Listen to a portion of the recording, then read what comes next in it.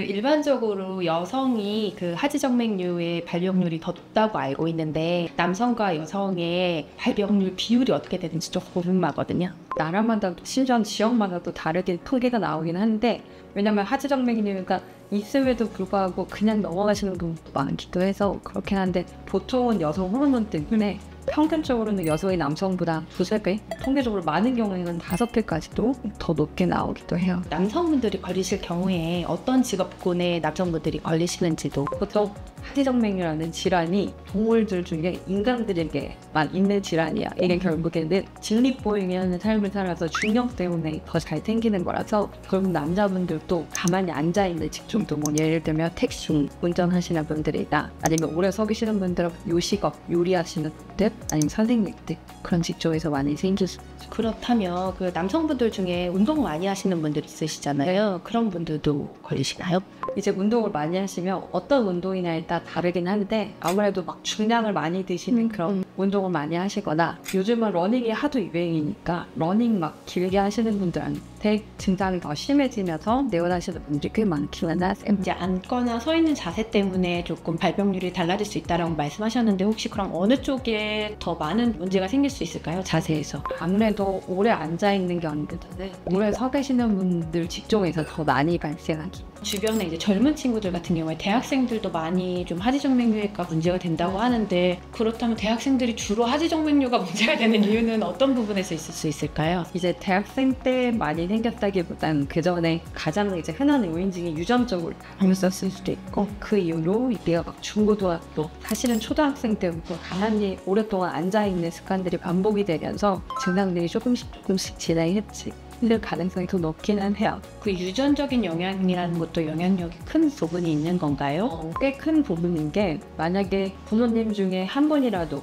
하지정맥류가 있으시면 자식에게 유병될 확률이 한 60% 근데 만약에 두 분 다 있다면 거의 90% 정도의 확률로 유전이 된다고 생각하시면 돼요. 그러면 연령과 그 성별에 상관없이 관리를 하려면 어떻게 해야 하나요? 결국에는 하지정맥류의 가장 흔한 원인이 우리가 어찌할 수 없는 것들이 유전적인 거 여성 호르몬은 어쩔 수가 없으니까 오래 서 있는 습관 오래 앉아 있는 습관을 이제 아무래도 고치는 게 중요해서 앉아서 공부를 하더라도 틈틈이 다리를 좀 들어 올려서 종아리 스트레칭을 해준다든지 자기 전에라도 다리를 좀 들어 올려서 종아리 스트레칭 가벼운 뭐 자전거 운동 그 정도 운동을 하면서 관리를 해주시는 거고 또 다른 가장 흔한 원인이 사실 비만이 많아요. 체중이 늘거나 그래서 체중 관리도 해주시는 것도 결국에는 더 진행하는 걸 좀 막아줄 수 있는 습관. 큰 원인 중에 하나가 흡연이에요. 그래서 혹시라도 흡연을 하시는 분들은 이걸 중단하거나 아니면 애초에 시작을 하지 않는 게 좋으실 거예요 그럼 마른 사람들도 하지정맥류에 걸리기도 수 없으세요. 마르신 분들도 결국에는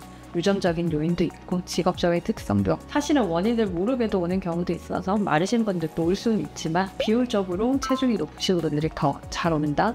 말씀하신 뭐 어렸을 때부터 걸릴 수 있는 확률이 있다고 하셨는데 유전적인 영향에 의해서 생기는 건 어쩔 수 없지만 그렇다면 혹시 다른 이유로 인해서 하지정맥류가 생길 수 있는 건지 어린 나이부터 특별히 관리해야 하는 방법 같은 게 있을까요? 사실 하지정맥류 증상이 나타나면 어릴 때는 대부분 이제 보존적으로 뭐 압박 스펙형을 씻거나 설명을 드리곤 하는데 유전적으로 갖고 있는 것도 있고 아니면 단순히 하지정맥류의 문제가 아니라 다리만의 문제가 아니라 뭐 실망이나 다른 곳에 불편감이 있다면 이제 뭐 그부 쪽도 같이 검사를 받아보시면 좋을 거예요. 그럼 소아에게 나타나는 증상은 혹시 어떤 게 보통 이유 없이 이제 저희 병원에 왔던 환자들 아프다는 게 많았고 보통 어린 아이들은 붓는다 아니면 밤에 잠을 못 자게 다리를 자꾸 뒤척거리게 된다 그런 경우들이 좀 쌓이. 하지 정맥류를 저희가 알고 병원에 올 때는 다리 저림이나 뭐 이렇게 쥐 같은 것도 있지만 보통 이 핏줄이 선명하게 보이는 걸로 판단을 하게 되는데 일상생활에서 환자가 느낄 수 있는 있을까요? 그러니까 결국에는 보이는 걸로만 판단을 할 때는 총파로 뭐 사이즈를 재고 판단하기도 하는데 보였을 때 문제가 되는 경우는 일직선상보다는 지렁이처럼 부글부글한 모양을 보인다. 그럼 이거는 정맥류의 가능성이 높으라고 일직선상이라고 해도 보통 다른 혈관들보다 좀더 붉게 보인다거나 아니면 그럴 때는 이제 체크를 받아보시고 해야죠. 그러면 증상이 나타났는데 네. 방치를 하다가 치료 시기를 놓쳤을 경우에 이것도 나중에 시술이 가능한지 그리고 완치도 가능한지 가능한지도 파지정맥류는 뭐 치료 시기를 놓쳤다라고 설명할 정도로 막 심각하게 진행된 경우는 잘 없고 결국에는 뭐 많이 진행이 된 경우가 피부에 궤양이 생긴다거나 염증 이 생긴다거나 아니면 피부가 완전히 변색이 돼버린다는 그런 경우인데 그런 경우에 치료는 가능한데 문제는 이미 변색이 돼버리거나 망가진 피부는 돌아오기가 어려울 수도 있으세요. 그래서 이제 좀 튀어나오거나 피부가 조금 가렵거나 열감이 느껴질 때 미리 치료를 하시는 게 낫긴 하실 거예요. 혹시 하지정맥류가 심하지 않을 경우에 자연 치료법 같은 게 있을까요?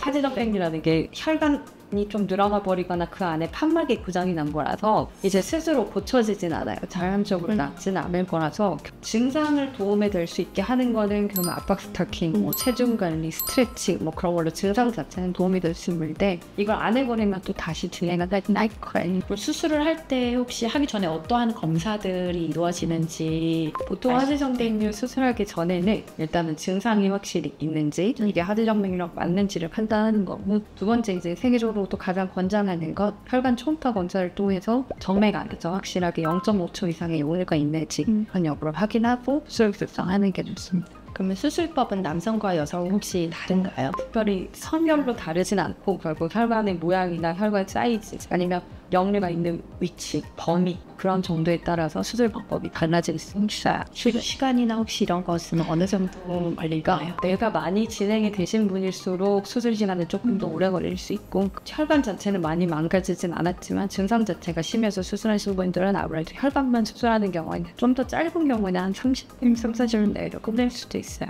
정말 많이 심하게 망가지신 분들은 오래 걸리면 1시간 반, 2일간까지도 걸릴 수 있으세요. 혹시 재발의 가능성은 없다고 봐야 될까요? 수술한 혈관이 재발한다는 건 좀 다르게 생각하는 게 결국 수술이라는 게 혈관을 막아서 없애는 건데 이 혈관이 안 없어지고 다시 열릴 확률은 뭐 수술 방법마다 다르긴 하지만 평균적으로 한 5% 정도는 돼요. 근데 수술하지 않은 다른 혈관에서 이제 새롭게 발생한 확률이 통계적으로 한 10년 이내에 60% 정도는 되기는 해요.